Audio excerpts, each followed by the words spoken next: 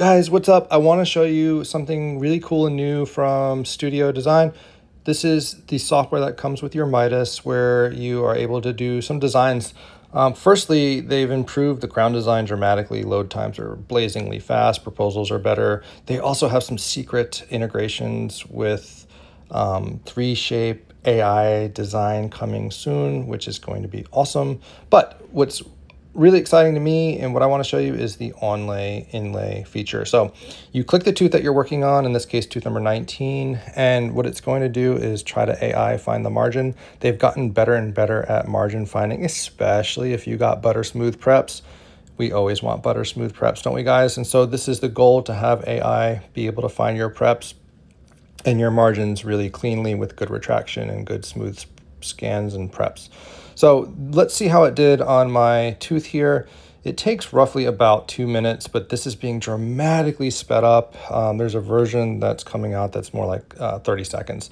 But okay, so now it finds my margin. It does a pretty decent job. This is a real patient case. It's not a type um, case. We did scan with a rubber dam on, um, which is what I usually like to do. And sometimes that even throws off the AI more than if you didn't but I'm just happy that the AI is able to find it with even a rubber dam scan. That's super cool because some softwares just freak out when you scan with the rubber dam.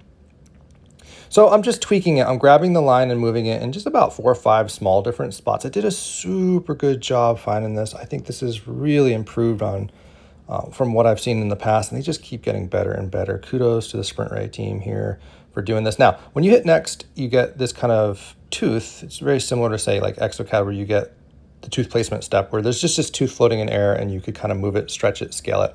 Ideally, you cover the orange. However, um, I find that sometimes when you cover all the orange, you're going to have a hyperocclusion crown. So things that I look at are like the marginal ridge heights, um, central groove location, cusp tip heights. I try to get them all even. I hit next and um, I hope that the AI is able to lock the proposal down to my margins.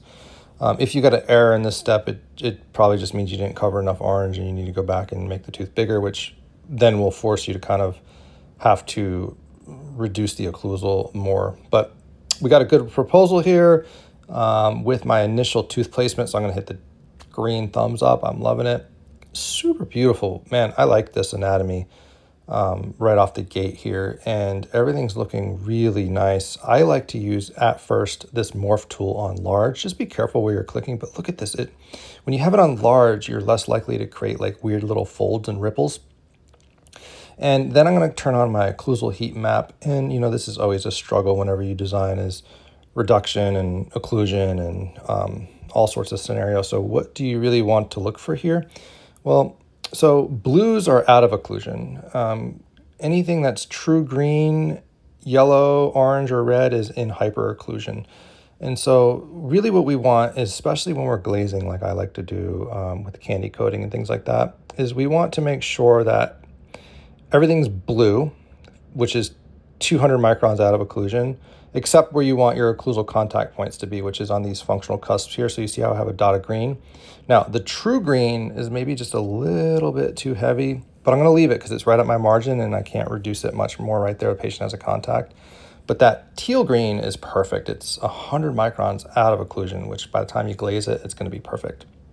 Now, for the proximal contact, you want it to be zero, which is true green, and a speck of yellow, which is 100 microns heavy um, just a little speck, and this is, you know, what I found to be good. So, so see what we got here. We got blue out of occlusion, little dot of green in occlusion. Um, that's that kind of teal green.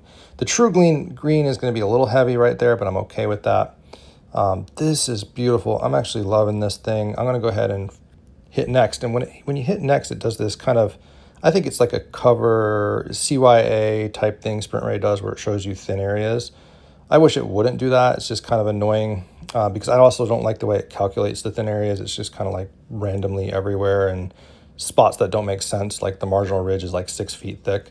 Um, and then it gives you the option to boost the thickness, which will ruin everything, or, just hit ignore. And if you hit ignore, it like tells you like your your warning or whatever. I just wish it wouldn't include that step at all. It's annoying.